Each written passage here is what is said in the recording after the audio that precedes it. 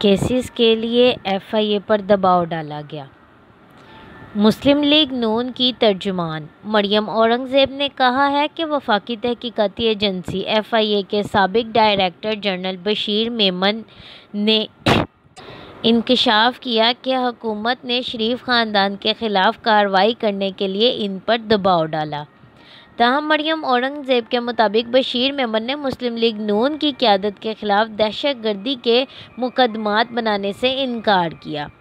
मंगल को इस्लामाबाद में मीडिया से बात करते हुए तर्जमान मुस्लिम लीग नून ने कहा कि वज़ी अजम इमरान खान ने बशीर मेमन से कहा कि ख्वाजा आसिफ के ख़िलाफ़ आर्टिकल सिक्स का मुकदमा बनाया जाए।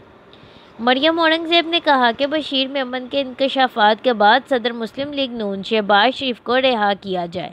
उनका कहना था कि वज़ी अजम इमरान खान ने रियासत की ताकत का गलत इस्तेमाल किया। गद्दारी का मुकदमा तो इनके ख़िलाफ़ दर्ज होना चाहिए। मरियम औरंगज़ेब का कहना था कि सबक director general F I A के मुताबिक उन्होंने हुकूमत के गलत अहकाम मानने से इनकार कर दिया था। इसी वजह से नैब न्याजी गठजोड़ बनाया गया। बशीर मेमन के इल्ज़ाम ने अपोजिशन के दावों को दुरुस्त साबित कर दिया।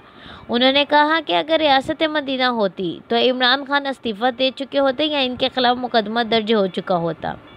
तर्जमान मुस्लिम लीग नून का कहना था कि वज़ी अजम इमरान खान के ख़िलाफ़ आर्टिकल 62 यानी आर्टिकल बासठ और सिक्सटी थ्री तिरसठ के तहत कार्रवाई होनी चाहिए। उन्होंने सबक director general F I A Bashir Memon को सिक्योरिटी फ्राहम करने का मुतालबा भी किया है। शुक्रिया।